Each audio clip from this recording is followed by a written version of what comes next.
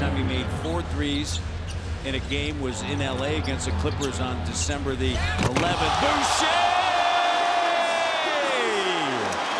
Oh, man! 118.